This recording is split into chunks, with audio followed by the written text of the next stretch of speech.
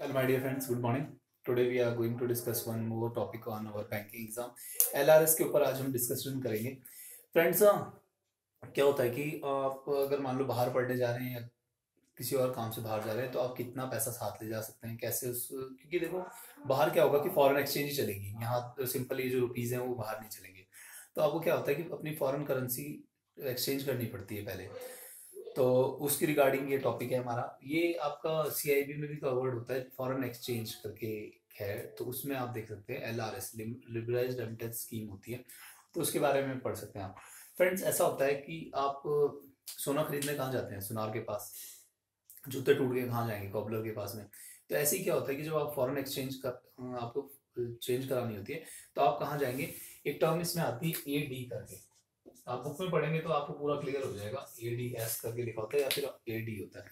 इसका मतलब होता है ऑथराइज डीलर्स डीलर्स कौन से होंगे? जैसे कि आप कुछ बैंक्स होते हैं जिसमें कि आप फॉरेन एक्सचेंज देंगे सॉरी आप अपना इंडियन रुपी देंगे तो आपको चेंज करके फॉरेन एक्सचेंज दे देंगे, ठीक है? कुछ ऐसे मार्केट में शॉप्स वगैरह भी होते हैं, वो भी लिख के रखते हैं कि फॉरेन एक्सचेंज इस तरह करके कि हमारा जो है, यहाँ पे हम आपको डॉलर देते हैं। ठीक है? तो पहली चीज़ रेस्ट्रिक्शन क्या है कि कैश में ना कितना हम फॉरन एक्सचेंज चेंज कर सकते हैं? तो that is fifty thousand rupees ठीक है? अगर आप पचास हज़ार रुपये कैश लेके जाओगे तो आपको वो चेंज करके दे देगा फॉरन एक्सचेंज कैश में, ठीक है? उससे ऊपर होगा तो फिर वो अकाउंट पे ही इस तरह करके कराते हैं।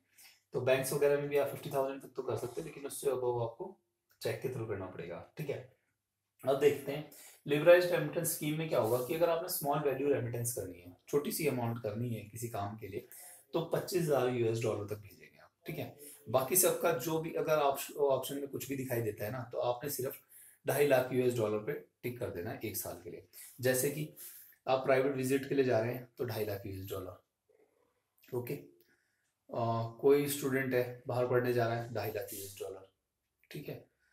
और भी कोई काम है तो उसके लिए ढाई लाख यूएस डॉलर जैसे कि आपने कोई डोनेशन देनी है वहाँ पे, ढाई लाख यूएस डॉलर ठीक है?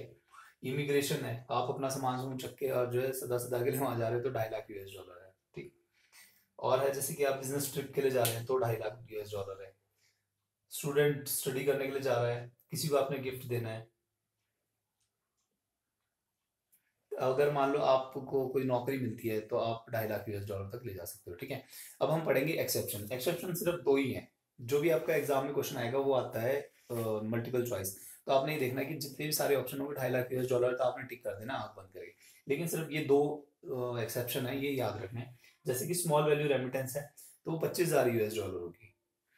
क्वेश्चन में कंफ्यूज करने के लिए ये टर्म ज़रूर डाल देते हैं स्मॉल वैल्यू रेमिटेंस और आगे लिख देते हैं ढाई लाख यूएस डॉलर और कई बार हम ये होता है कि ज़ीरो नहीं देख पाते या फिर वो ऐसे लिख देते हैं।